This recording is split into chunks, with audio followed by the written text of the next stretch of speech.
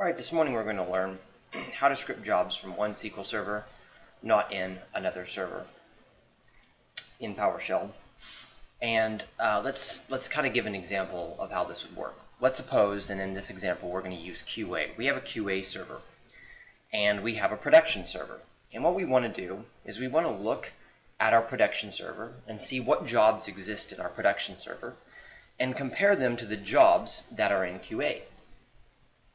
And if a job exists in QA that does not exist in production, we want to script out, script out that job. Uh, another step would be we want to remove that job. Why? Because QA should match production. So to give you just a brief, uh, relatable story, I'm in a, an environment right now in which we have over 300 or more servers, who knows how many databases when it's all said and done, and our production, our QA, our dev, and our pre-production, as they call it, do not match at all. And this ends up creating tons of confusion. Not only does it create tons of confusion, it shows what happens if you don't design something right the first time.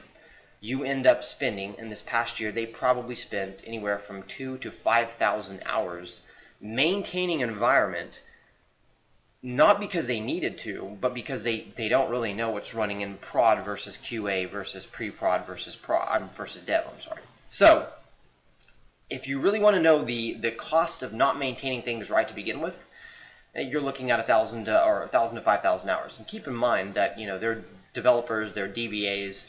Um, if you think about, let's just suppose each one of them get paid, you know, seventy to eighty thousand a year. You multiply all of those hours out times that, and you start to realize they're spending millions of dollars just on maintenance that they could easily get rid of. So when companies complain about spending money, it's like, mm, well, you don't really need developers to do all that. Okay, so in this instance, what we have is we have a string here that's QA, an object, I'm sorry, that's QA. We have our QA server and instance. We have our pro production object, production server and instance, and then we have our file. And this is basically just a path. Now, I do not have multiple servers on this computer, so I cannot uh, test this in front of the people watching this video. However, I did have used this numerous times since I've been at my current position, so it does work. Uh, I just copy and paste this, and the only things I do is uh, change this. And by the way, you can change this to dev if you just absolutely have to. So we're just going to go over this. I'm not going to spend time typing it out.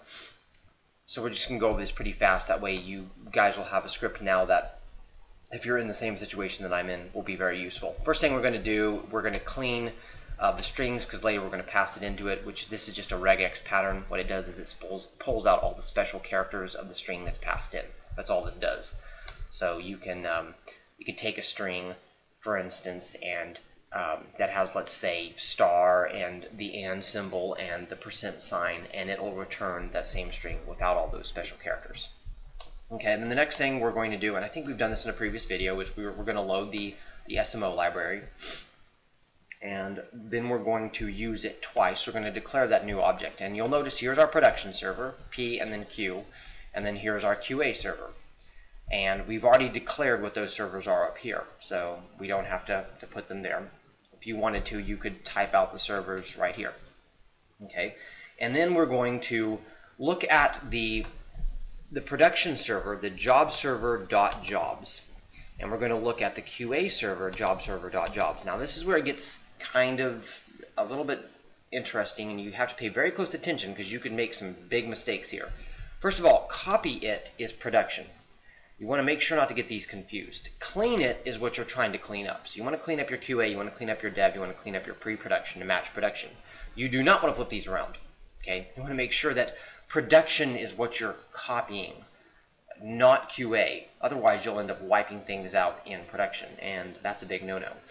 And you'll notice too, because if you look at in general, and unfortunately I have SQL Express on this machine, so I cannot do this, but if you look at, for instance, jobserver.jobs, you'll know that if you were to go through each job, I mean, it's going to have who knows how much information about it. So what we're doing is we're basically selecting out a specific property, the name. That's why we're doing this here out of all that. And again, you, I would suggest you know practicing it by going through this, and you'll see what I mean. You're like, whoa, there's, you know, you're talking about is enabled, um, the last run date. I believe there's the create date. There's all kinds of properties that you could look at on under this right here. So we're just selecting out the name because we want to compare it. And that's what we're going to do here. We're going to have an array where we're going to compare, copy it to clean it. And we're and you'll notice there's there's the not equals here. And that's because again, what jobs are in production? We're looking at the jobs in production and the jobs in QA. So what jobs are in QA that are not in production? And we want to find out what those are. So now we're going to go to our you know, QA server here, and again, you do not want this to be P, and we're going to say, hey, for each job in the QA server job.jobs, if the array that we have set up here is like the job name on the server right here, so if the array is like the job name, what we're going to do is we're going to declare the, the JName object, which is going to get the name of the job. Then we're going to, and you'll see our function here, we're going to clean the name. And this is because I don't know why companies do this, but every single company I've worked at always has some job with all these special characters in it. And those special characters, for the record, do not add anything of value to the job name. It's a really bad idea to do anyway, because if you were trying to script a job in T-SQL, you it would be a headache with all these special characters. So just a note, never ever create a job with special characters. Don't do it. There's, you can do it with letters. You don't have to use special characters. So we clean the job name, then we declare the file, which we're getting our file from above, we're getting the name from above, and we're doing .sql. And as most of you know, if if we included this in all of this clean strings, it would remove that period. So that's why we're adding that at the end. Then we're writing the host job file, so we're getting the full name just to verify, and we are scripting the job and we are scripting it to this location right here. And like I said, it works beautifully. It will um, script all of those jobs that are in QA that are not in production or that are in dev that are not in production, that are in pre-prod but are not in production. It's wonderful. Um, you'll notice I have coded out here too j.drop. So this will remove the job as well. You script it and remove it. So one quick note here, never, ever, ever, ever, ever, ever, ever, ever, ever, ever remove anything unless you've scripted it first. And, you know, just say, well, I, I removed the jobs because I didn't need it. And what happens if they come back and they say, oh, it turns out we actually need that job. That was something that we were currently developing. Um, you have a script. It's like, oh, okay, here, here's a script if you don't, then you just removed something and you kind of look careless. So that's a note, something that um, you can learn from experience, but I'm just suggesting always script everything that you remove. If you want to remove a table, script it out first, then remove the table. That way you also have a receipt and um, if uh, a database administrator, especially when it comes to data, like any type of transaction that you do, anything that has a receipt to it, a database administrator can go and dig through and solve really fast. You don't have a receipt, takes them a lot more time, and then they don't like you. So then we have j.drop. So we could technically, if we wanted, we could actually drop the job. What I like to do here um, in working with departments that have, or I'm sorry, companies that have a lot of different departments, is I will script out all the jobs, then I will get the name, I will go and I will have a meeting with those other people, so QA or dev or pre-prod, and I will say, hey, I'll say to these teams, these are the jobs that I found that are not running in production that are. Are you currently working on these jobs? And if they say, oh no, we haven't done work, we were trying to test out this, yada, yada, yada, yada, then I will go ahead and I will drop the jobs. I can then code this out. I don't need to script it anymore and just drop the job. Uh, but I always talk with those teams beforehand uh, because, again, if you have it on file, if you have it on record, that you had a meeting, you can prove it on your calendar, you name it, um, then of course you have evidence that you weren't just being careless and capricious and randomly dropping jobs.